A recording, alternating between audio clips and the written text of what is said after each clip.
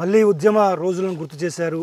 తూటల్ లాంటి పాఠాలతో పాటలతో తెలంగాణ విద్యార్థి సమాజాన్ని మీరు మేలుకొల్పారు.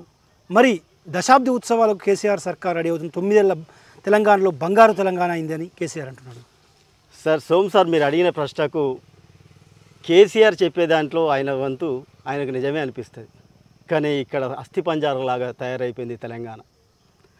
ఆర్థిక వనరుల కాంచి మొదలుకుంటే సహజ వనరుల కాంచి మొదలుకుంటే ఈ ప్రాంతంలో ఉన్నటువంటి సహజ వనరులు అన్నీ దోసుకబెట్టి కోస్తాంధ్ర వాళ్ళతోనే వాళ్ళ స్నేహం ఉన్నది. మీరు చూడండి. కేసీఆర్ గారు కేసీఆర్ గారి బిడ్డ జీవన శైలి కొడుకు జీవన శైలి నాకు తెలుసండి వాళ్ళు ఇక్కడికి వచ్చి ఈ ప్రాంతంలో విముక్తి కొరకు ఈ ప్రాంతంలో వీళ్ళ- వాళ్ళు ఏదో అమెరికాలో పనిచేసుకుంటూ బతికేటోళ్ళు ఇక్కడికి వచ్చి తెలంగాణ ప్రాంతాన్ని ఆగం చేసి ఈ తెలంగాణను దోచుకున్న కుటుంబం ఇది. ఈ కుటుంబాన్ని మొంతు వేయకుంటే ఈ కుటుంబాన్ని దగ్గరగుండి రాజకీయంగా హత్య చేయకుంటే మనకు జీవన శైలి మనకు స్వేచ్ఛ లేకుండా అయిపోతుంది. అందుకనే ఒక ఊబిలో బతుకున్నాం సోమసార్ ఎందుకంటే ఈ తెలంగాణ ప్రాంతంలో వాళ్ళ జీవన శైలి ఏంది? వాళ్ళ స్థితిగతులు ఏంది? మేము కల్లారా చూసిన వాళ్ళం. ఈ రోజున వేల కోట్లకు లక్షల కోట్లకు ఎగబడ్డారు. బురుజ్ ఖలీఫా లాంటి అత్యంత ధనవంతమైన ఖరీదమైన ఫ్లాట్లు కొనుక్కొని హండ్రెడ్ పర్సెంట్ హండ్రెడ్ పర్సెంట్ చాలా ప్రమాదకరమైనటువంటి ఎత్తుగడలో హరీష్ రావును చూస్తే చాలా అబ్బాబ్బా ఎంత మంచోడు అనుకుంటాం. కానీ ఆ చూపుల్లోనే విషము కౌగిలిటి అన్ని మొత్తం ఏ టు జెడ్ ఉంటుంది. ఇతనైనా కేటీఆర్ అయినా లబలబలబ మొత్తుకుంటాడు తప్ప హరీష్ రావు నువ్వు ఎక్స్పెక్ట్ చేయలేవు నువ్వు. నేను దగ్గరుండి ఈవెన్లో చూసిన కదా. ఆ మూమెంట్లలో ఆయన అనుకున్నది వేరు చేసేది వేరు. ఎట్టి తిరిగి కూడా ఇట్లా చూసి అందరిని అబ్జర్వ్ చేసి తను అనుకున్న గోల్ను ఆయన రీచ్ అవుతాడు. ఈ దుర్మార్గులకు త్వరలో రాజకీయంగా ప్రజలే బుద్ధి చెప్పాలి సోము గారు. వాస్తవానికి వీళ్ళు చెప్పుకునే దానికి ఎందుకు చెప్తున్నానంటే ఉమ్మడి రాష్ట్రంలో వాళ్ళు రాష్ట్ర రాజ్యాధికారానికి రావడానికి ఏ కోశానా లేదు. ఒకటి అటు సామాజిక వర్గం కమ్మలు ఉన్నారు అటు సామాజిక వర్గం రెడ్లు ఉన్నారు.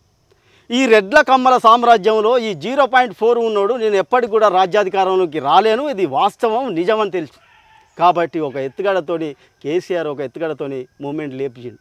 ఆ లేపింట్లో భాగంగా ప్రతి ఒక్కరు ఊకదంపుడు ఉపన్యాసాలతో గంట చక్రపాణి వీళ్ళందరూ మేధావులు అనుకొని చెప్పి ఇక్కడికి వచ్చి అల్లం నారాయణ అటు పోతే ఈ మీరు ఇంతగానో యూని ఇంటర్వ్యూలు ఇస్తూ అంటారు కదా వీళ్ళందరూ కూడా ద్రోహులే.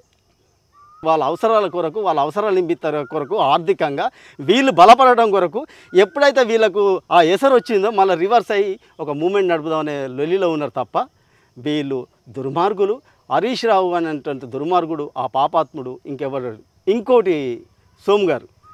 నేను ఇప్పుడే అంటున్నా నేను ఎవిడెన్స్తో సహా నీ ఇస్తా డీజీపీకి. నువ్వు అరెస్ట్ చేస్తావా? నీకు దమ్ముందా నీకు? అని చెప్పిన కేటీఆర్ను నువ్వు కాపాడతావా? అరెస్ట్ చేస్తావా? నీకు అంత ధైర్యం ఉందా డీజీపీ? ఇప్పుడు నేను ఇస్తా ఎవిడెన్స్తో సహా ఇస్తా సో- సోమ్ గారు. ఎవర్రా అక్కడ తిట్టినప్పుడు ఆ ఎవిడెన్స్తో నేను ఎల్లుండే ఇస్తా పోయి. నువ్వు అరెస్ట్ చేసే దమ్ముందా నీకు డీజీపీ అని నేను ప్రశ్నిస్తున్నాను ఇంకొకటి హరీష్ రావు ఫిల్తీ లాంగ్వేజ్ మామూలుగా ఒక దళితుని కొట్టుకుంటే ఎవరు వర్డ్స్ అండి? సారీ టు సే ఈ పదాలు ఆ దుర్మార్గులు వాడిన పదాలు నేను వాడుతున్నాను.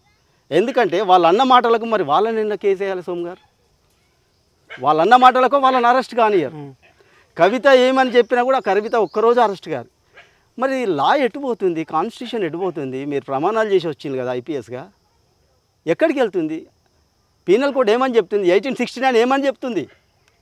కనీసం అవగా అవగాహన తీసుకురాడు రాజకీయ పార్టీలు ఇవాళ ఉంటాయి పోతాయి కానీ ప్రభుత్వాలు ఎప్పటికీ శాశ్వతం కాదు. ఇది వాస్తవం సోమ్ గారు.